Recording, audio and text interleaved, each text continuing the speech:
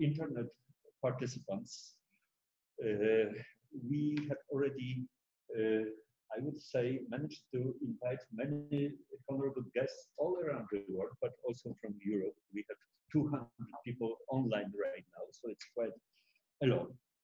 Uh, we also would like to uh, um, welcome people from, from the ministry and thank you, sir, for leading this uh, uh, webinar, which is, in, my opinion, extremely um, on time.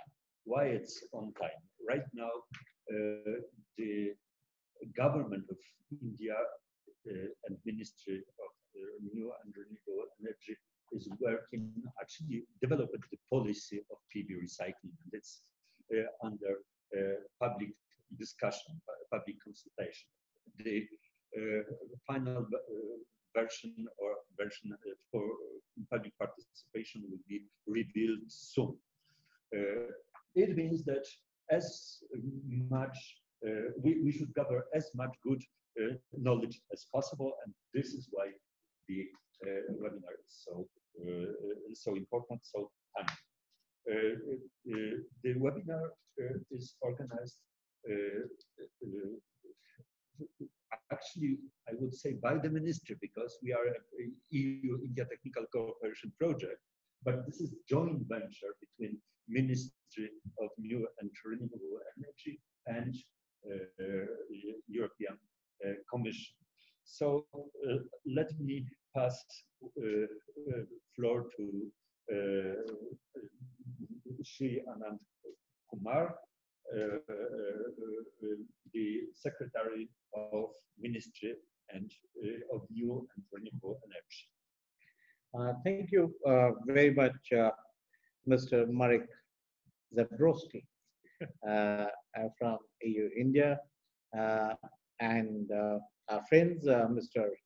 Rafael Rossi from Solar Power Europe, Ms. Naoko Tojo, and uh, Mr. Edwin, Council of European Union delegation to India, uh, friends uh, who are participating in this webinar from around the world. As uh, you all are aware, uh, India has set a target of installing 165 gigawatt of renewable energy capacity by the year 2022. And uh, recently, our Honorable Prime Minister has announced by 2030, uh, we should establish at least 450 gigawatt of renewable energy capacity. And he made this mention at the United Nations Climate Action Summit. So for India, uh, fighting against the climate change is a matter of faith and commitment. And we all, all are dedicated to the cause of action against climate change. On the, we are dedicated for action, not against, for action against climate change. Pardon me uh, from making the wrong phrase earlier on. Uh, and out of this 175 gigawatt, which we should achieve by 2022, 100 uh, gigawatt will come uh, from solar power, and out of 450 gigawatt by uh, 2030, at least 325 uh, would come from solar power. This is what we estimate.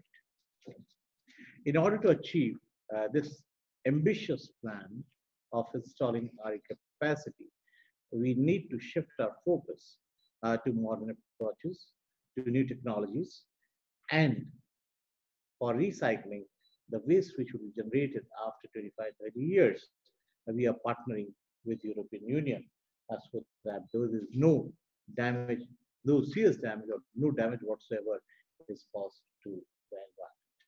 We all are concerned about environment we all would like to leave uh, the environment for future generations without any adverse impact.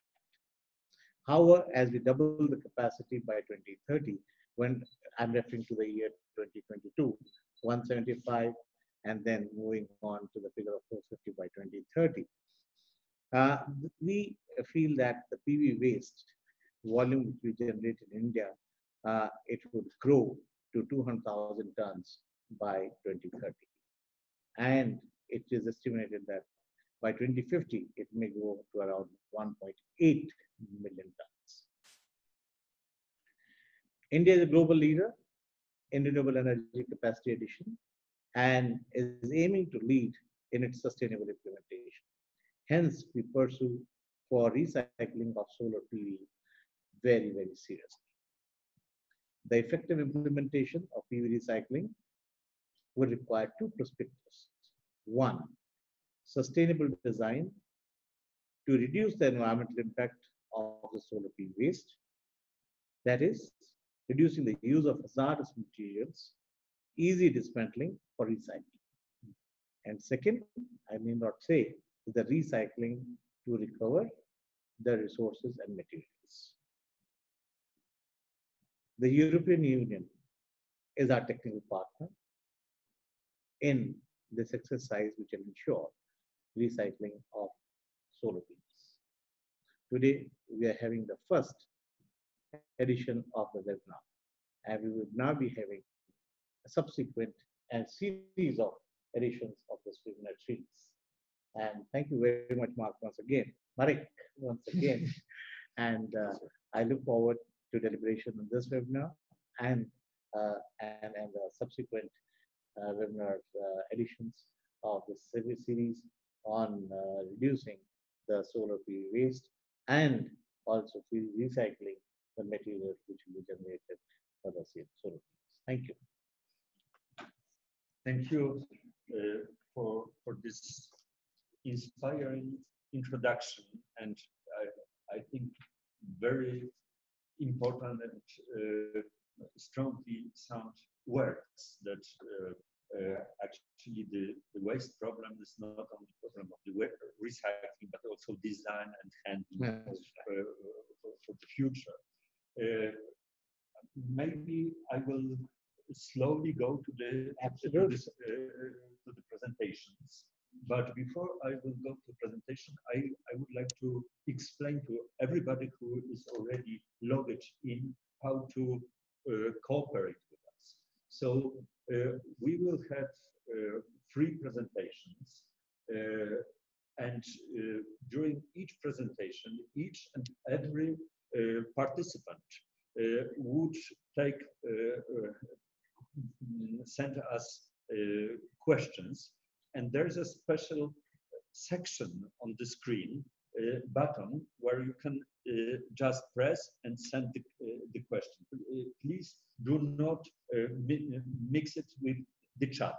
Use this particular service for questions.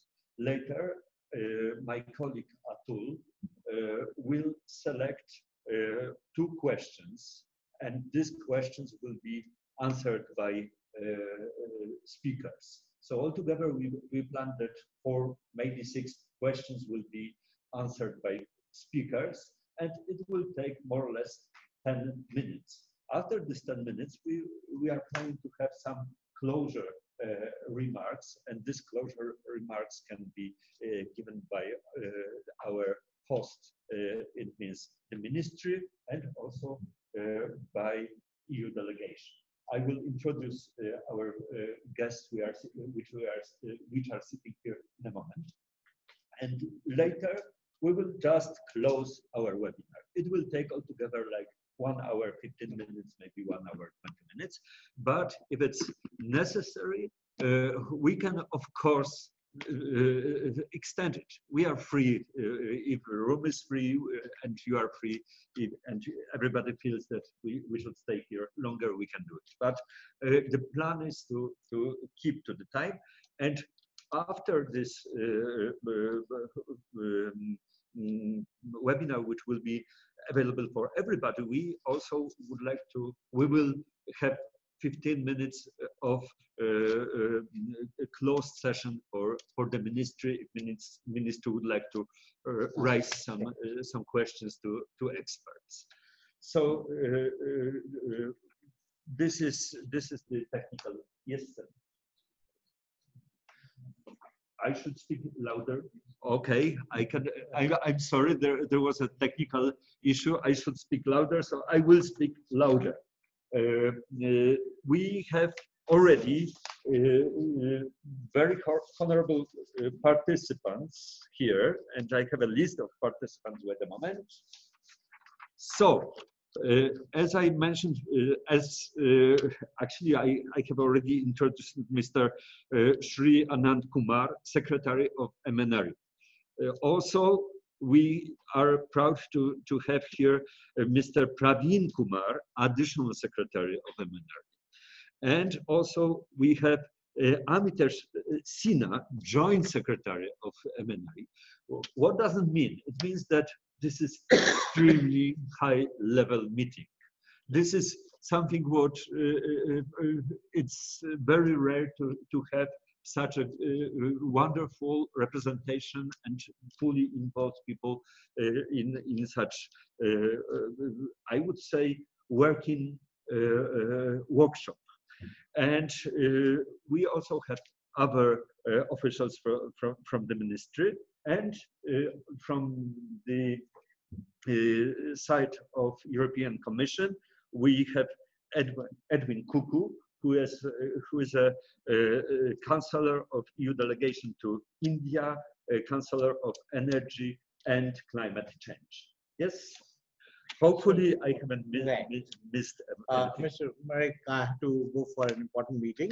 And in my absence, my colleague, Mr. Praveen Kumar, additional secretary, uh, would be with you.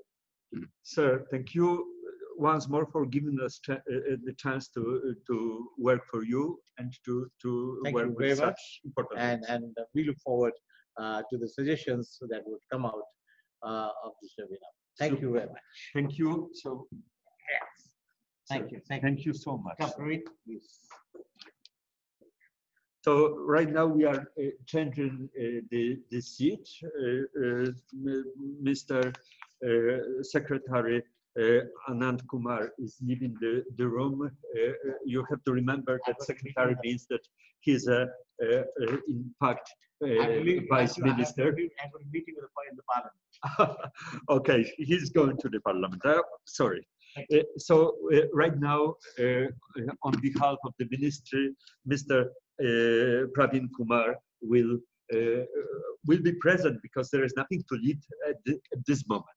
So uh, going forward with the technicalities, actually, I would like to ask uh, uh, my my colleague Rinal to to go to the to the next slide, if you don't mind. Uh, can we? Ah, I cannot see the next slide. I'm sorry, we are organizing this uh, kind of thing first time. So, so uh, okay. So, uh, just I wanted to uh, provide some context for for for the discussion. Uh, this is uh, something what we can say the, PV waste challenge. What does it mean? It means that uh, actually I portrayed uh, the words of uh, Mr. Secretary. Uh, India has very, very ambitious target to install at least 100 gigawatts of solar, uh, PV solar capacity. And uh, I asked my colleague to multiply this 100, 100 by uh, weight of, of a panel. And we've got almost 8 million tons of future waste. Of course, this waste is not going to pro produce uh, uh, right now, but in the future. And on this slide, you can also see the current production of uh, e-waste. E-waste, it means electronic waste. Uh, usually in uh, Europe, PV waste is characterized, is categorized as a e-waste. So currently in India, India produces 2 million tons of, of uh, e-waste a year. So it means that uh, uh, actually our uh, uh, PV systems are going to uh, generate more or less three times more waste than actually is generated per, per year. This is huge problem. And also on the same slide, you can see the uh, mm, level of uh, mm, uh, extraction of the uh, e-waste from the from the waste stream. It means recycle, recycle, recyclable. I'm sorry. How much waste is recycled? So actually, right now, uh, only less than 2% of waste, electronic waste, is recycled in India. It means that uh, if we add to this uh, uh, uh already unprocessed waste uh, another waste coming from uh, PV waste, it, it will only make problem worse. just for, for the record, in mm, Sweden, for example, in Sweden, 67% of e-waste is recycled. Uh, okay, next slide, please. And uh, this is, uh, the, the next slide uh, is even, um, maybe it's not more striking, but it's very interesting. This is, uh, uh, there are, this is the set of data generated or provided by IRENA and uh, uh, Bridge to India. And this slide uh, shows the difference between degradation of Indian panels uh, uh, uh in front of degradation of the panels in other places on, on, on, the world. So it means that Indian panels can degrade in much faster than it's, it is expected. It has multiple uh, consequences. Uh, actually, we already have some data from Mumbai Institute that degradation is more uh, than 2% a year. so it has some financial consequences, but also it means that waste will come a year. So please uh, provide the next slide. Um, the next slide is about our honorable guests. Uh, actually, not guests, but uh, lecturers, our partners, sorry for guests. So uh, the, uh, the web, webinar is organized in cooperation with Solar Power Europe. Solar Power Europe is one of the most powerful, uh, important uh, solar power producers, manufacturers, vendors, organization from Europe. Uh, and we are happy to have Rafael Rossi, who already is an analyst, uh, policy analyst in Solar Power Europe. Uh, he worked also on flagship report of the Solar Power Europe. It's a global market outlook for solar power. And also we, uh, the, the second uh, in the row uh, lecture, Ms. Naoko Tojo, uh, is a professor from the Lund University. and Lund is in Sweden. Sweden is famous in Europe because they claim that they already reached 99% of recycling in their country. This is very 99. It's almost, I don't know how they done it, but anyway, this is what, uh, what is claimed. And um, uh, Naoko already knows uh, Indian market. Uh, she already worked uh, on some on that studies uh, on something what is called EPR. Uh, EPR means uh, uh, consumer res responsibility. She will talk about it uh, uh, later. So uh, I would like to give floor to Rafael, 15 minutes, and I will try to control the time. So if Rafael will exceed the time, I will mute him. This is this is my Uh, approach to, uh, to exceed time. So please keep uh, keep time in laces. Okay. Thank you Try to uh, can can Rafael, you can start sharing the screen and yeah. can you, do we have uh, louder? Thank you for the presentation. I hope you can hear me fine. And I hope you can also see my screen. Please confirm if this is the case.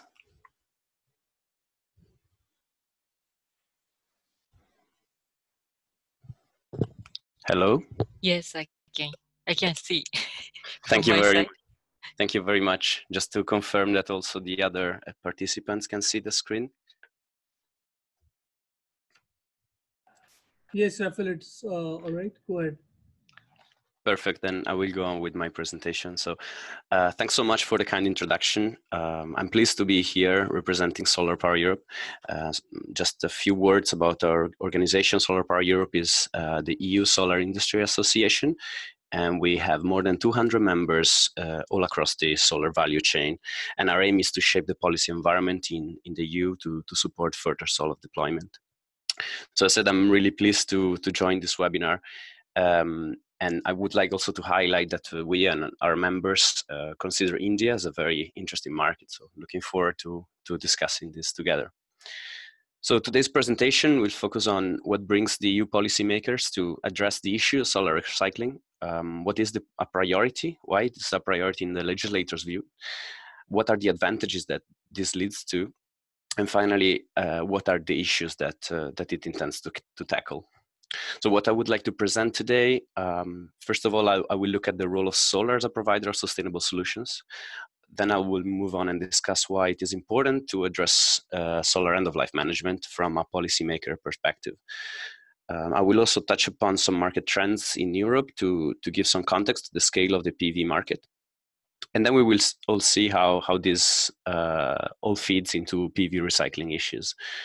Uh, and finally, uh, how the EU policymakers see their role in encouraging PV recycling.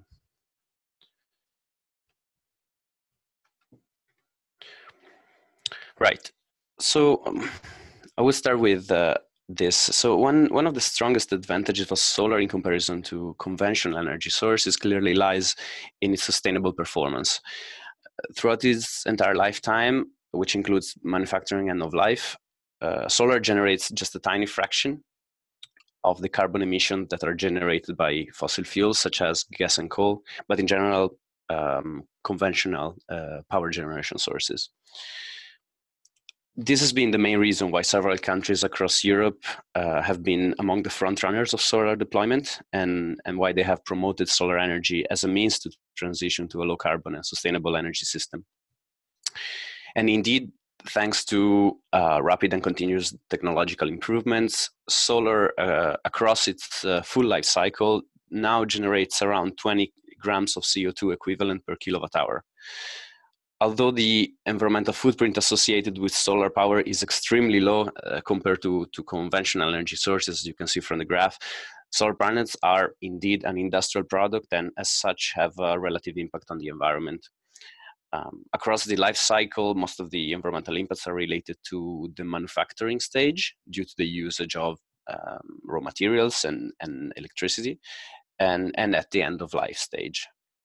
Therefore, uh, in order to, to, to reduce natural resource use and, and, and other environmental impacts, uh, we have the possibility to optimize the usage of the resources in a, in a circular way. Now let's uh, let's have a, a, quick look at some uh, market historical data and future trends, so that we can put this into context. Um, so, as mentioned, since the late late 1990s, the uh, EU has been an early adopter of solar, and this has led in uh, significant volumes installed between 2008 and 2012. After this period, though, the, the solar market has, uh, has seen a stagnation period uh, with annual installation a bit flexible, but stabilizing more or less below 10 gigawatts a year.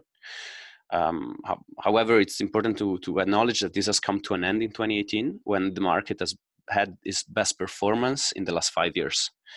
Um, the reasons are well, policy change and a steep increase in cost are, are playing a key role uh, in the steep installation growth uh, we are seeing this year. So this is also expected to continue steadily in the next five years and, and more generally in the future. And as you can see from the last bar of the graph, by 2023, the annual market will be already in the range of 30 gigawatts a year. Um, and if we look in a longer term perspective, installation are set to grow exponentially uh, to make solar the backbone of the, of the new energy system.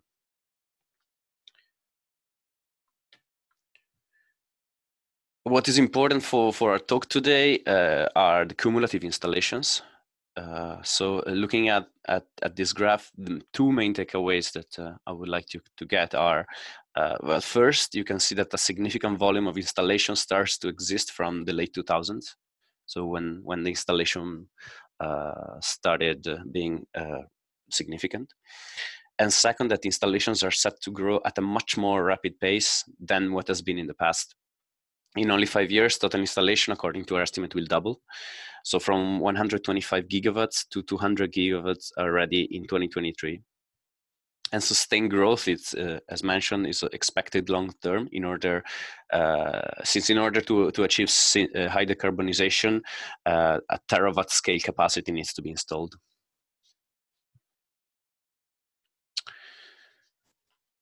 Now, what does this growth mean for PV recycling?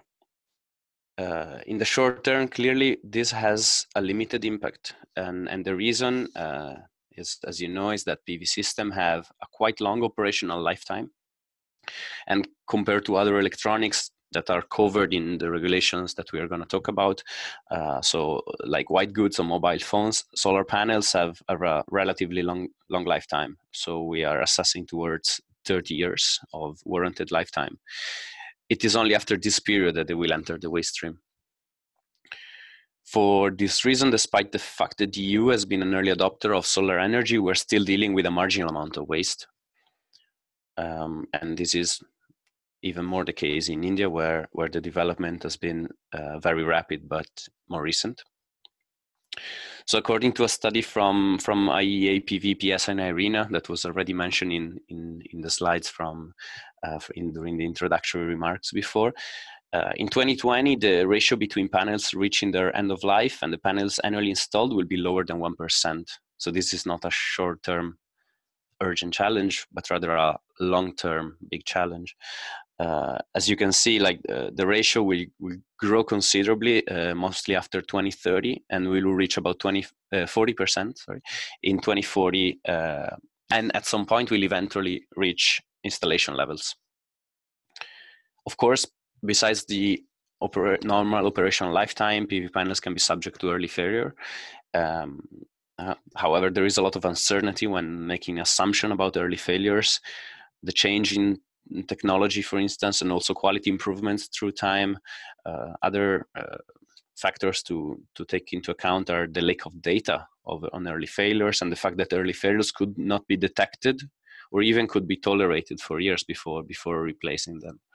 So in, in all in all, it's uh, it's difficult to to assess this uh, this ratio and and to to understand how many how much waste stream will will we have in the future. But we know that the challenge is there. So let's now have a, a look at PV recycling from a policymaker perspective. So first of all, circular economy strategy is one of the political priorities of the European Commission. And this has been highlighted in uh, the EU industrial policy strategy, which was presented by President Juncker in the State of the Union address in 2017. Notably, this strategy stresses the importance of adapting to changes brought on by the transition to a low carbon and more circular economy, as well as the strategic importance of raw materials for the EU manufacturing industry. It can be observed as well that circular economy related to solar is seen as a priority in light of the decision of the European Commission to launch a study on sustainable product policy tools to enhance material efficiency and circular, economy aspects of products. At the current stage, there are a number of policy measures that are both mandatory and voluntary that are under scrutiny uh, in a preparatory study and might be implemented in the European market. And these instruments include, for instance, the eco label and green public procurement. And in the eyes of the Commission, they should provide a stronger incentive to efficient design for recycling and, and sound of, uh, end of life management practice. And then another issue is um, critical raw materials and uh, precious metal, metals. There, there are a number of uh, CRM, so critical raw materials, uh, and precious metals, and they, they include uh, silicon and silver, which are used in the manufacturing of conventional solar panels, so crystalline silicon panels. However, uh, as you know, there are other uh, technologies uh, that can make solar, and so there are other materials which include, for instance, gallium, uh, indium, that are used in uh, in manufacturing of other solar technologies what is interesting is that most of these critical raw materials and precious metals are scarcely present in Europe, and this fact indeed might pose a challenge to scaling up domestic production for solar. So, from a policymaker perspective, this can be an opportunity to reduce the risk of bottlenecks along, along the supply chain. Moreover, uh, the global availability of these materials is limited, indeed. We live in a constrained world. Therefore, optimizing their use and being able to loop them back into the supply chain is, is a necessary action to ensure long term sustainability of the PV industry uh, at large. Um, this will be my second last slide, or last slide, if you will. Uh, so I hope I'm still making it on time. So all in all, the importance of optimizing resource efficiency through looping waste streams back into the chain can be linked to two main aspects. The first one is related to the EU industrial strategy from um, a long industrial base in uh, renewable energy manufacturing and, uh, and new and new technologies. So it can provide, on the one hand, cost savings, such as lower cost for manufacturing and procurement, so competitive advantage for, for the industry. It allows for job creation, uh, which is very important uh, in a continent like Europe, um, and setting up new business models related to end of life management. And as well, it provides access to raw materials, especially critical raw materials and precious metals, which are, as said, strategically important for Europe and then there is a second group of aspects that are important for for PV recycling um, in a policymaker perspective. So connected to, to solar environmental footprint, indeed, uh, reducing end-of-life impacts, and in turn, reducing manufacturing impacts through the use of recycled materials are a key aspect to ensure that solar continuously improves its environmental performance. So to conclude, growing PV panel waste presents a big sustainability challenge, a long-term challenge, but also presents large opportunities to create economic value and to and to increase solar's environmental performance. Um, and it, it is an important matter that will be fundamental in a in a sustainable uh, renewable energy based future. This uh, is what I wanted to say for now, so I will I will pass it on to to the next speaker. And thank you very much. And just these are the reference of what I was talking about. Thank you very much. Thank you very much, Rafael, for, uh, I think, wonderful summary of, uh, of the situation in Europe about uh, the summary of the problem. Uh, I would like to underline that uh, Solar Power Europe is a association of technology providers. So I think that we can uh, provide very good examples to, to, to, India of leading technologies. And actually, this is something what we uh, plan also to, uh, to do. We, we, we would like to uh, organize study tour uh, if, for, for uh, I would say, energy, uh, PV recycling leaders, uh, ministry, decision makers just to see these technologies. And you have to understand that uh, Europe already have a lead, but the center of the problem is in Asia. It's not a problem actually. The center of the renewable energy. It's a beauty beauty of of the situation because already uh, the growth is huge, but uh, we uh, we have also some limited uh, role. This is something that I, at least I understand. Maybe later uh, uh, we will discuss about it. So also I would like to kindly ask you to provide questions if you have any to our lecture questions you can provide through special uh, button uh, Q uh, and A. So I, I would like to ask next um, person, Professor Naoko Tojo, uh, to provide uh, insight about uh, implementation, actually, technicalities of the implementation of European policies.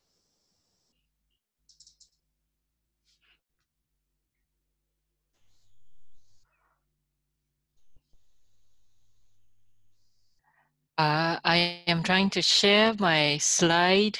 Uh, do you see? We can change. Yes, we can see. We can see it. Thank you. You can see it. Excellent. Then, of course, it is at the end, but let me see. I go back and I start. Do you see the slides? Make it uh, bigger, just uh, put it as a, a full presentation. Sure. Show, yes, slideshow. Uh-huh. I, um, it's okay. I uh, I have difficulty in showing the slides and seeing the slide myself, so I think I should stay with this. I hope it is okay. I can uh, try one more time. Okay, do you see the slides?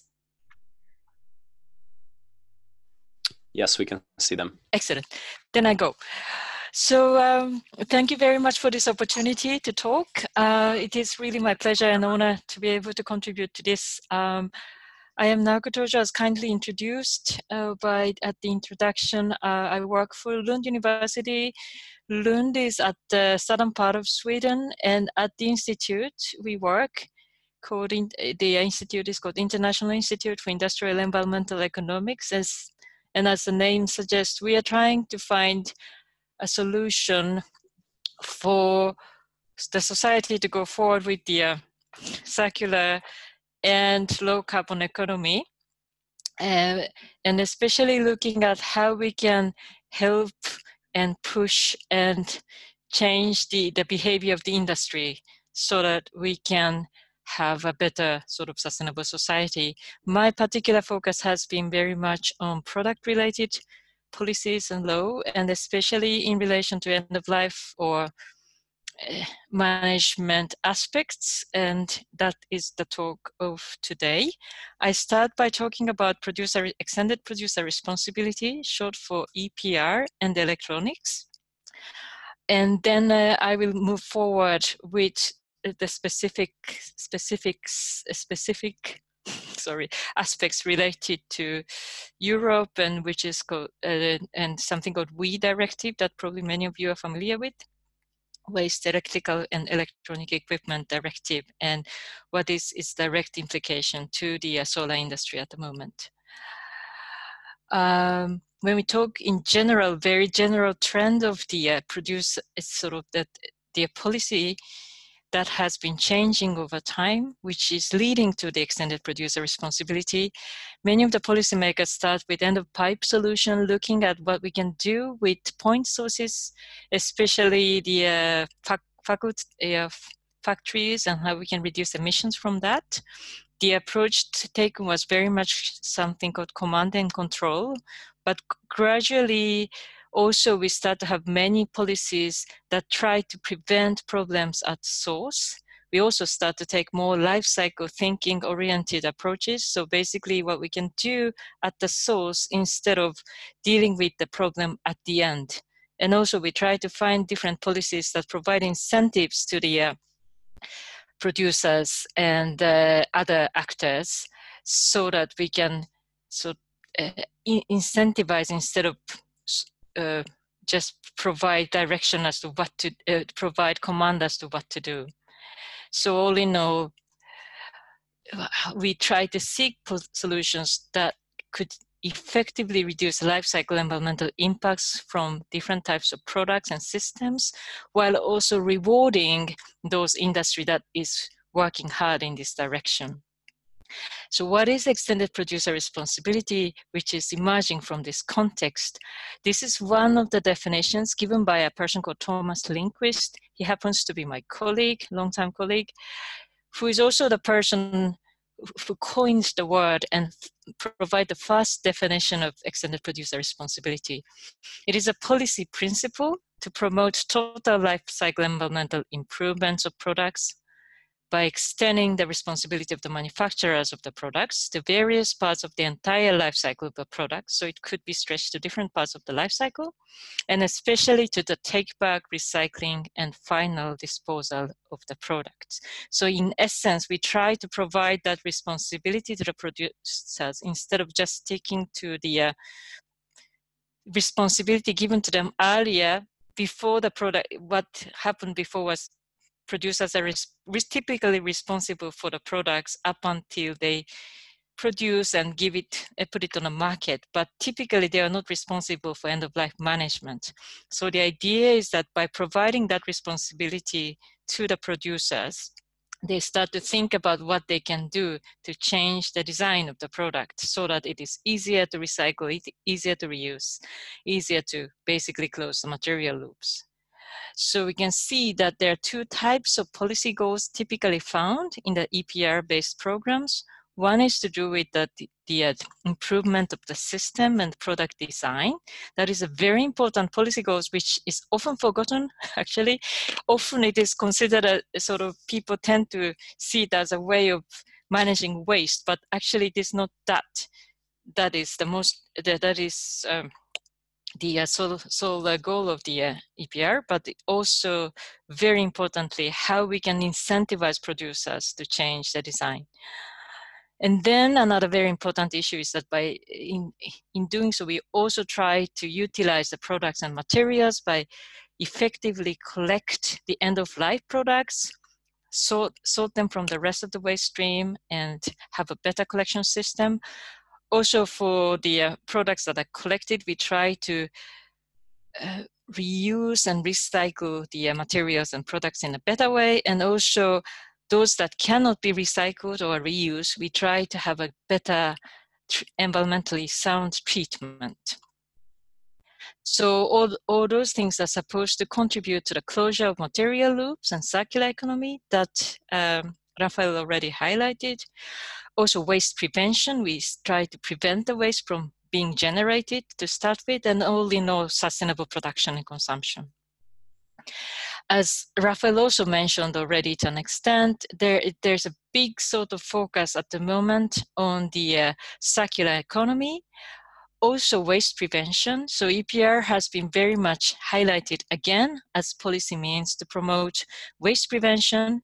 And it's, it's not only in the area of the uh, electronics, but also eh, products like textiles. And also the circular economy package has been very much focusing on producer responsibility and how we can change the current system in such a way that we have better possibility of closing the material loops. So especially in relation to the Waste Framework Directive that has been revised, the current one is available from 2008 and there was a big revision that was uh, proposed and finalized in 2018 and that is that they they talk about some specific sort of requirements related to EPR systems. One is to do with the clear allocation of responsibility to relevant actors, target setting, reporting reporting systems should be established in a better way and also they talk about the operational mechanisms of something called producer responsibility organization which is the organization that typically take over the responsibility of producers in uh, in relation to what kind of responsibility they get so for instance collection and most typically recycling take back recycling and reuse and what kind of financial mechanisms should be used. So, and then before going further with this, I'd like to stress that EPR systems, in a nutshell, all are different, both in terms of design and also implementation. And I try to illustrate that a little bit now. So, what we have in Europe, what we are going to talk about in the next set of the uh, talk, is one thing, but it, it is not only there's no need to and there's actually the the the, uh, the way it has been implemented and designed is very very different for different types of products and different types of in different countries. So these are the example of EPR-based policy instruments. I sort of divide them into three different ones and we don't go in through the details now, but just to highlight that there are different sets of instruments that could be used under the EPR-based uh, EPR programs and based on the combination and so forth, the way it appears in the end would be very different. Also the range of responsibility given to the producers in terms of type of responsibility, which often are divided between physical, financial, and informative responsibility, but also which part of the, uh, the end of life phase they are responsible for, also differs quite a lot between different programs not only between Europe and the rest, but within European countries. So please keep that in mind. That is one of the very important issues when we talk about producer responsibility. So there are different issues you can think about when we design EPR programs, like all the way from who are the producers, what kind of products we should cover, what kind of target we should set, allocation of responsibility, especially in relation to collection, what kind of funding mechanism should be used, what kind of things we should think about in relation to existing actors, what kind of people are there already in the in the field to do the collection of recycling and how we may jeopardize their interest when we introduce EPR and what does that mean for the eff effective implementation of EPR program. We should also think about, especially in relation to collection, the convenience as well as incentives to, of the consumers also information provided to them and potentially sanctions that could be given to them to enhance the effective collection. We should also, from the producer side, think about free, free riders, monitoring, export, etc. And finally, should the EPR program be mandatory or voluntary? Each one of those points would warrant a discussion of an hour, so we are not going to get into the details, but just to highlight that there are many different issues one can think about when introducing EPR programs. What kind of product that has been subject to EPR, packaging, cars, batteries, and tires, among others, uh, the sort of typical product that has been under EPR programs and electrical and electronic equipments. Also, um, we have other products like paints and newsprints and pharmaceuticals coming up.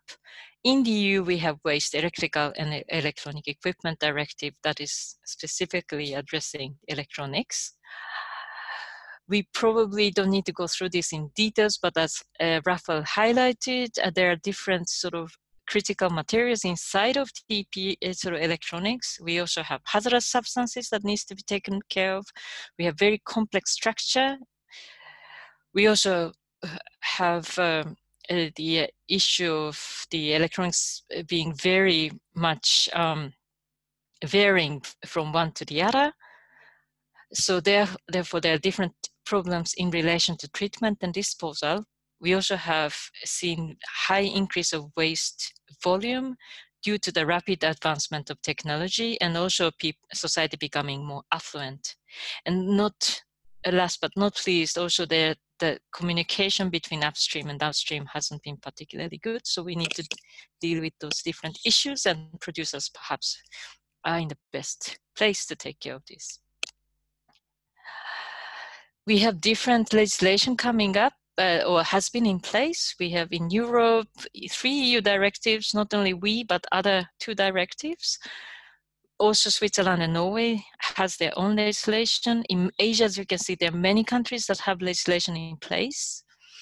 Also, in, sorry, India is appearing twice, but India is already having its legislation, and Thailand and uh, in Indonesia, sorry, is another country that is in the process of developing the legislation. We also have seen development in uh, Americas. So just to highlight that there are different parts of the world working on this issue and has system in place. Um, when it comes to the EU WEEE directive, we have been having the, uh, the legislation in place since 2002 it is among the different legislation in Europe that covers specific waste streams. So for instance, there are other legislation for packaging and cars and so forth. So electronics is one of them.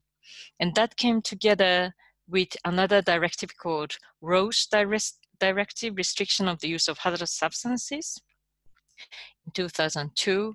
And then there was a whole revision that took place in 2012 based on different experiences accumulated Uh, in the implementation of the original directive. So some of the changes include the electronic categories, collection targets, preparation for reuse target was introduced, and also the enhancement of targets for recycling and recovery. So in the next round, we are going to talk much about this and it should come in a second. Just to highlight that there are different studies we have been working on, and the, the one in the middle at the bottom, extended producer responsibility in a non-OECD context. This is the study we did, especially looking at the situation in India. So for anyone interested, I'm happy to send you the link, and perhaps there are many other things we have been trying to do in this area. So um, shall I continue on with the WEEE directive now, or should we take a pause? Uh, please continue. Please okay. continue. Thank you. Yep. So I go to the next one, and that is to do with the WEEE directive. So the WEEE directive has specific policy goals, uh, very similar to what I mentioned in relation to the EPR program. So the main uh, sort of uh, stated objective is the contribution to sustainable production and consumption, but also waste prevention by improving design, improved recovery process, and reuse and recycling, um, efficient use of resources is also mentioned, and the um, also improvement of the environmental performance of different industries involved, especially in relation to the treatment operators. And, and finally, as it is in EU, we, the, uh, there is also intention to reduce the disparities between different member states' legislation. So what does that say? We, we start by talking about the different types of electronics and where does this uh, polar, uh, solar panels come in. We have different types of electronics and up until 2018, last year in August, uh, August last year, the categorization is based on 10. So all the way from large and small household appliances to automatic dispensers to toys and so forth. So you can see that it's a very broad categories of waste that WEEE directive is covering the type categorization changed as of last year. And now, now you can see that it is much slimmer. It's only six different categories. But when you look into the details of what is covered by those two uh, different ways of categorization, actually the products that are covered is essentially the same but it is different way of categorization. And the reason for that is mainly to do with what is happening in real reality in relation to collection. So for instance, the large appliances has been typically collected together with other automatic, uh, large appliances like automatic dispensers and some of the consumer equipment and so forth, but they are in the original directive divided into several categories. And so what the policymaker is what the implementer of the policy had to do in the different member states was to divide the uh, what is collected together into different streams and check how much constitute the large appliances, how much is automatic dispensers and so forth, which doesn't really help the um, environment but create that more ad administrative work. So they kind of change this categorization. When we talk about the solar cells, the two sort of categorization we see uh, the, in the original directive, it is under category four. In the new sort of categorization, it is under the large equipment and small equipment. And on top of that, EU divides those different type of electronic waste into new or historic waste and also how those generated from household or business. So the responsibility given to different actors is, let's say, starting from the collection, retailers are given specific responsibility, free of charge separate collection from households based on old for new basis. So we can ask ourselves what happens to the rest, what, what happens to the products that, uh, that is not a replacement product, but uh, for instance, if you're moving from one place to another and you want to just get rid of it, what do you do? And I come back to that in a minute. This responsibility is supposed to be given to the retailers, but also it gives the directive give possibility for member states to sort of divert from this responsibility. So there are zillions of different solutions coming up additional requirement given to retailers as of the uh, 2012 uh, directive was that if the retailers uh, square meters more than 40 square meters 400 sorry square meters they have to provide a free of charge collection of very small WEEE. So many of the PV cells that you use on the uh, sort of as a solar panels probably on this roof won't come into this, but those that are integrated in the small electronics may come into this. Then you have to uh, re receive those uh, electronics free of charge regardless of the new purchase. So that's a new requirement coming from 2012. And then producers are supposed to set up collection system for those generated from business. Just to reiterate that there are different solutions coming up uh, for the collection because of the uh, sort of possibility of allocating responsibility to different actors. So this is from uh, the, uh, the implementation of from the 2002 directive, but you can see that very diverse solution was implemented by different member states when it comes to the targets given to in relation to the collection, up until 2015, there was a four kilograms per person per year target from private household. From 2016 on, there's a new different way of setting the target coming up.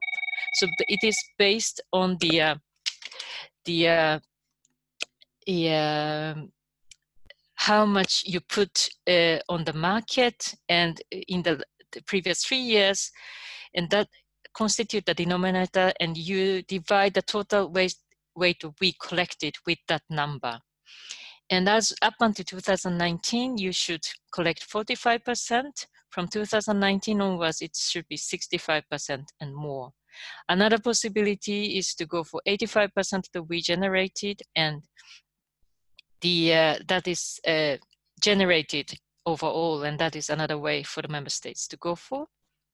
At the moment, there has uh, there has been different criticism given to this because this is uh, regardless of the change from the four kilograms target to the percentage target, it is based on weight, and that what that means, and it is not based on the specific waste stream. It is overall waste generated. So what happened in reality is that those who are responsible for collection tend to go for large equipment and heavy equipment instead of, for instance, mobile phones that are small and light. So that's one of the big issues related to this collection target. And also another issue that has been raised and also very relevant for the uh, the uh, recycling and reuse of the uh, solar panels is that the collection, the quality of collection influence very much the reuse and recycling potentials afterwards. This is just to provide a general overview of the collection rate per capita provided uh, for the uh, electronics uh, in the that in which the PV panels is belonging to. This is a, it is very we don't have any specific figures for the PV panels. This is together with the consumer electronics, so difficult to say. But as uh, the introductory remark talked about, Sweden is one of the front runners when it comes to collection. Whether it is good or not is another question because it is also in relation to how much is put on the market.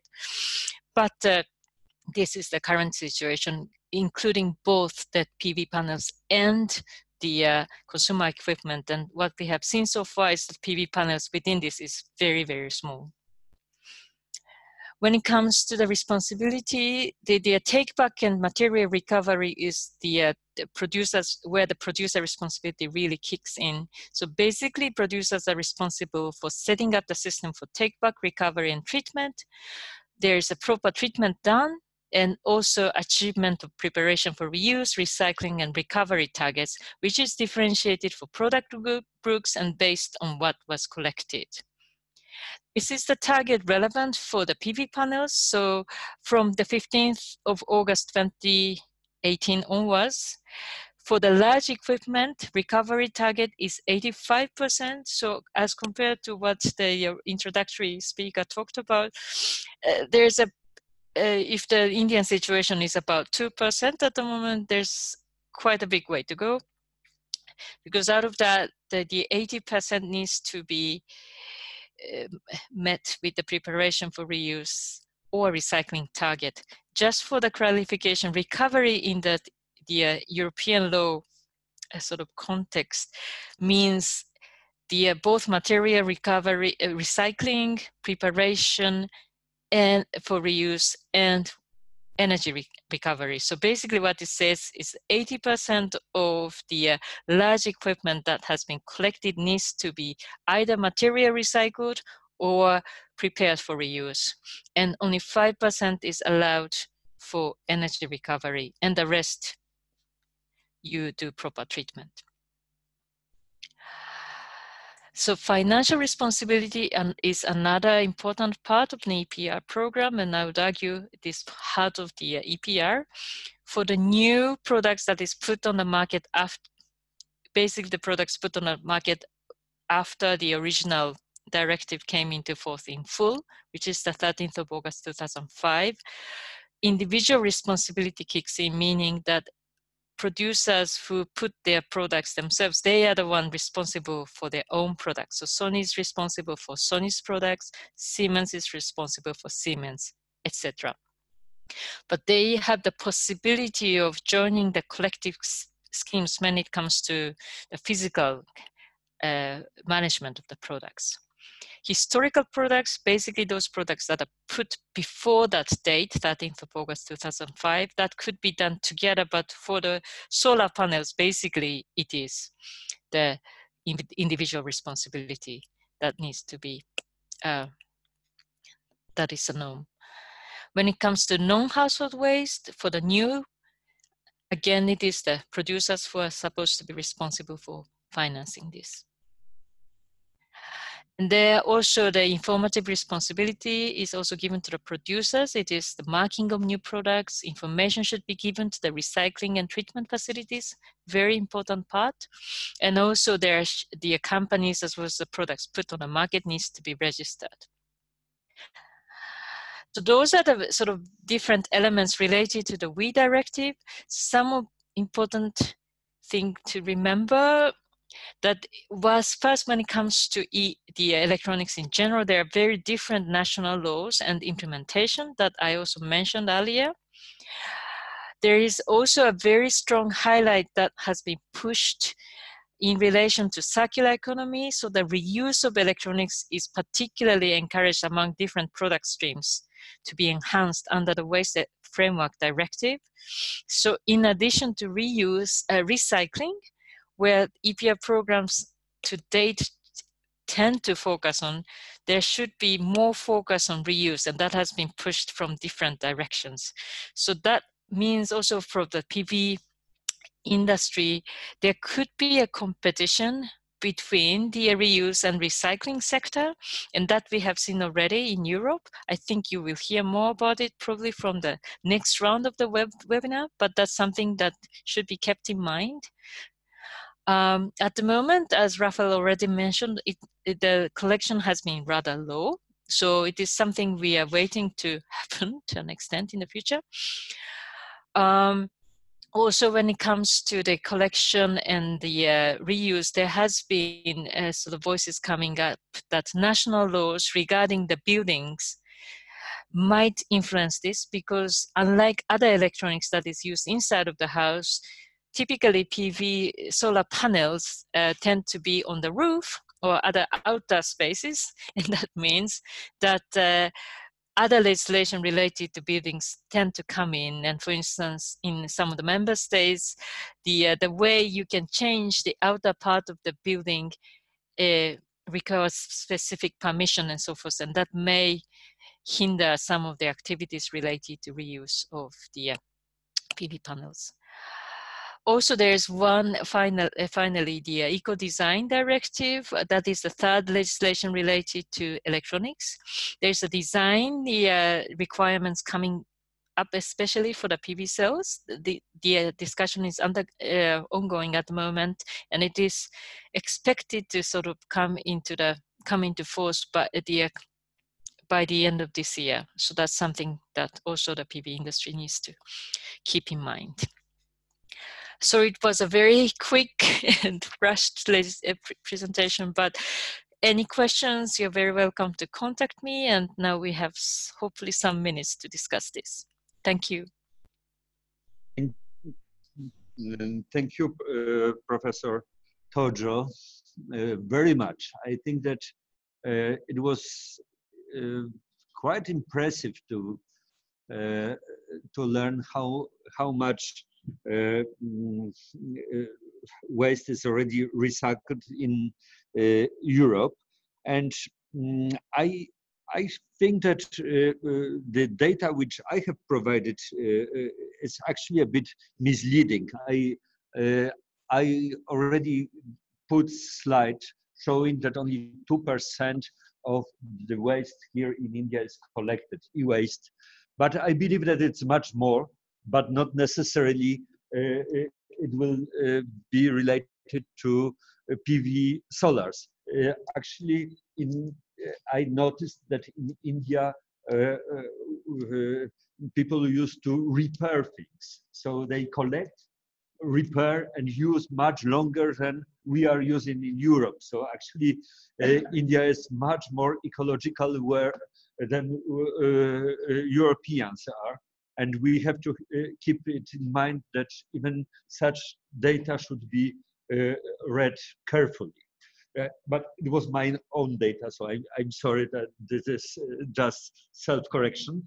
Uh, and right now, I would like to re read uh, questions which are, or maybe Marina, please. I, I, cannot see this question, so if you don't mind, please read questions to Mr.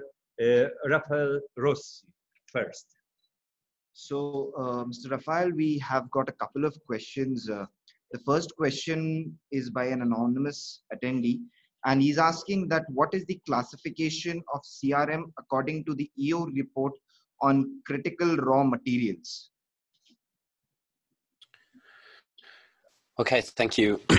thank you for the question. Um, maybe a clarification, first of all. So the um, the European Commission has mm, made a list, which is regularly updated, of what is defined as critical raw materials, and the latest one is from 2017. Um, and what is important to highlight is that yes, there is a methodology to to determine what are critical raw materials, and this comes from uh, the uh, the slide I presented earlier and there comprises the full list of, of CRM according to the latest definition. But what, what is important to highlight is that CRMs are not necessarily rare materials. So falling under the CRM list indicates that the material is key for strategic and industrial purposes, uh, specifically for innovative technologies such as, such as renewables um, technologies. Um, and CRMs can therefore can be classified as such, not just for scarce availability in nature, but also for um, mining and extracting or processing and refining. And notably, this this affects solar with the silicon, for instance, because the the element per se, silicon, is is very abundant in the Earth's crust. Is actually the second uh, most abundant element in the in the Earth's crust after oxygen. Silicon metal is the dirtier form that is produced uh, preferably from quartz, um, which is the pure form of, of silicon that is naturally available, and it's mined for this purpose. So uh, our understanding is that um, the, the, availability of clean enough quartz is, is, is, is the reason for rating silicon metal as a CRM. Uh, but yes, so just just want to to highlight that it's not necessarily a, a, a, rare or a or a valuable element, but more that is strategically important, as as opposed to silver, for instance. Silver is not considered a critical raw materials, but we include it in in our in our discussion because it's clearly a, a rare metal with with high value, and for this reason is included. Uh, thanks, Rafael. Uh, I have one other question, but I would request you to just be brief. Uh, this question is being asked by Mr. Rajneesh, and I'm sure that this question comes to almost um, uh, all the minds of the attendees that why to introduce PV recycling if there is no PV waste today? Yes, um, that's that's a actually a good point, but I want to highlight that it's not like there is no waste at all. There is some waste. It, it is limited, but is is is there and it's ever growing um, if you consider that there are early retirements and early failures, that there are some to some extent some some PV waste, and so in order to unlock the benefits of of, of recycling industry, uh, the institutional groundwork must be prepared in time. Uh, so this is the reason I would say it's uh, it's it's important to to be ready to having system test ahead uh, that can also help understand how the system can be improved and how can be best designed yeah, one should also keep in mind that there is no one size fits all system. So it is it's important to practically test uh, uh, an, an EPR system in in in the country. Um, yeah. So, but but if you if you wish to know more about this, I think like in the next webinar we will look at uh, at PV recycling from an industry perspective, where where we have uh, a clear look of how much uh, waste streams are actually there at the moment.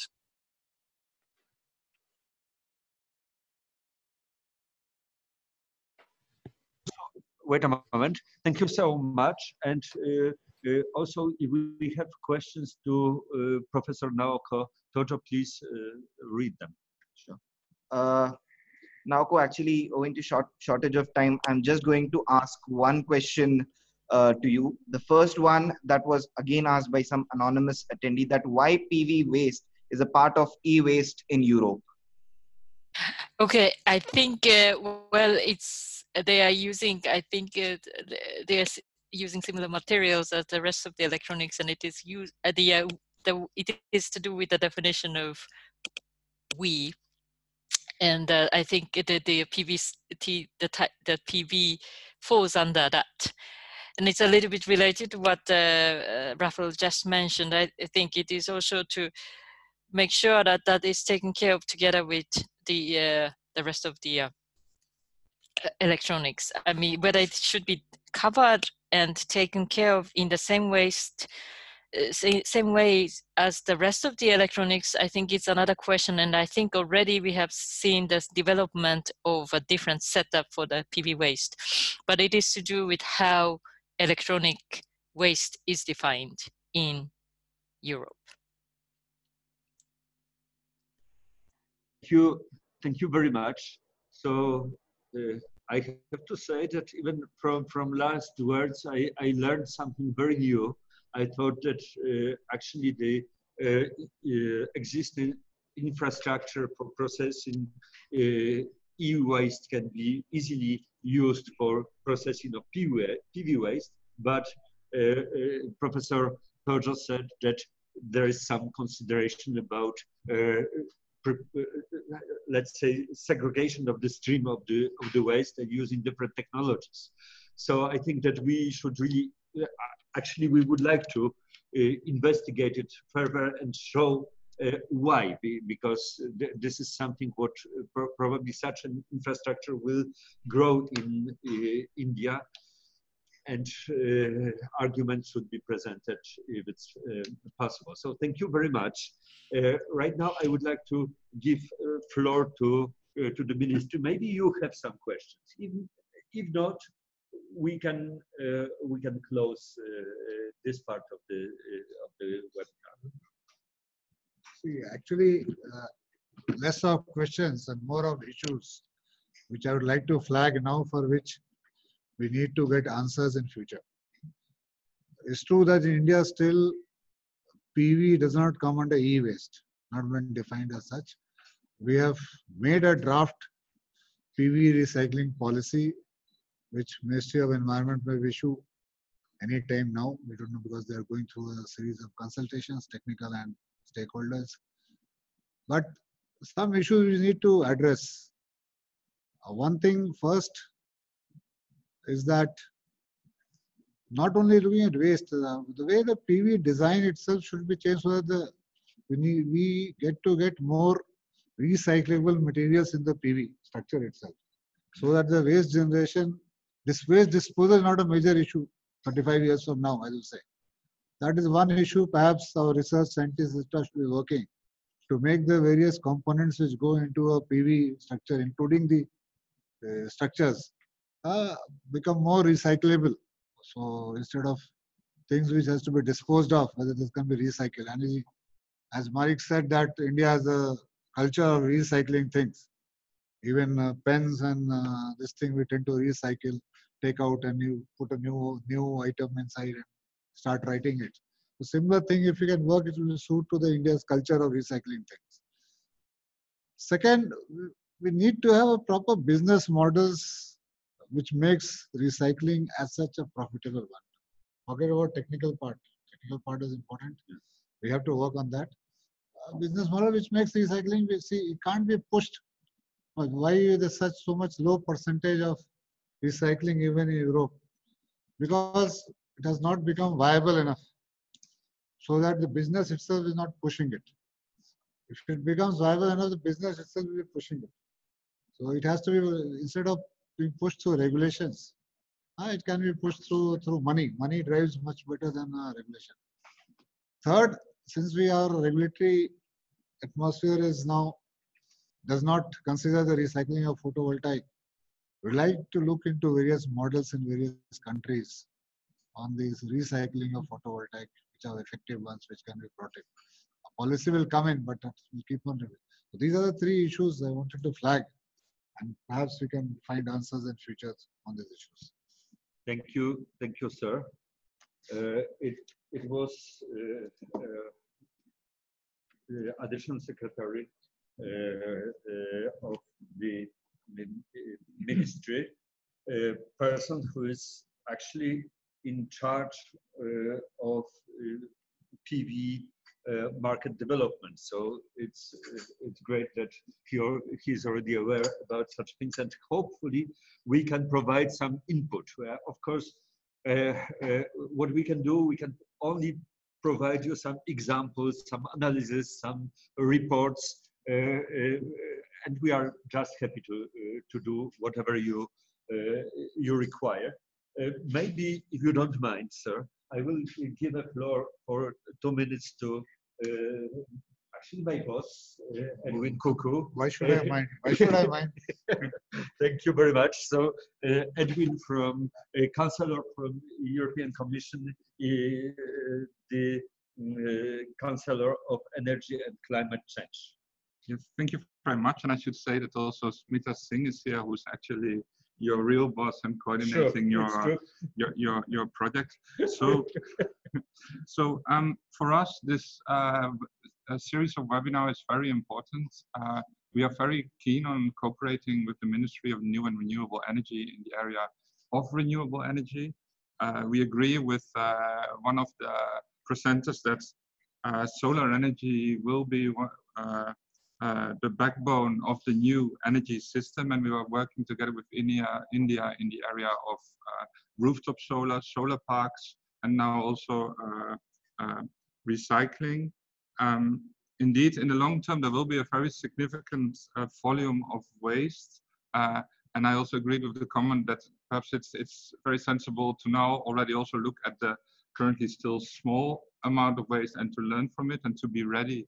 Um, um, one of the speakers mentioned it's a long-term big challenge, but I think the the time to act is sort of now. So in the short in the short term, I think it was really useful to learn more about uh, the different uh, EU legislation, um, the waste electrical and electronic equipment legislation, which provides targets in Europe. Uh, and the targets that were mentioned were that from 2018 onwards, onwards, 85% of the solar panels need to be recovered uh, in Europe and 80% recycled.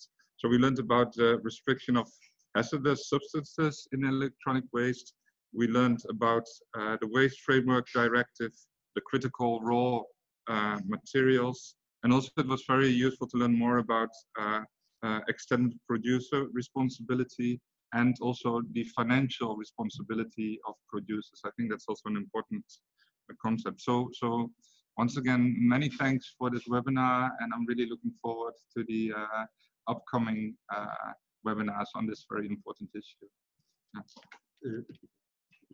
Thank you very much. So hereby I'm closing this webinar and uh, hopefully we will hear uh, or see each other soon. Uh, we don't have exact date of the next webinar, but uh, uh, it has to be in one month because this is the time given us by the secretary. We have to deliver it every month. Uh, thank you very much. Thank you for joining us. I would like to uh, once more thank uh, to all participants from internet. We've got already more than 200 uh, participants, so it's quite substantial Uh, uh, number, especially when we are talking about some quite hermetical uh, issue. This is not fascinating for everybody. Thank you very much. wait a moment. no, okay. are we already on or not? We are on. Session that uh, instead of a pure webinar, next time we can have a webinar come seminar. What will happen? Instead of only five of us sitting here, all the stakeholders who are really involved sure. can be called here. So their participation can be upfront, and even the web participants can continue. It will be done. Yeah, so, so, that will be a combined thing, so that uh, more number of people can see the reactions and immediate reactions may come. And, and, and, the web participants have add value anyway. So sure. Sir, it was kind of an experiment. We, uh, uh, if we could expect that we will not fall down, we uh, for sure we can invite other people. But well, we like to have some solar power developers. Sure, sure, sure. It would be great. Sitting here, they may not log in on their own. Yeah. Because they are busy people. When you call them, they'll be here, so they will hear. They will get to know what is to be done and not so internauts, you will be invited to the ministry. This is good news. Thank you. Bye. Bye. Uh, uh, I just would like to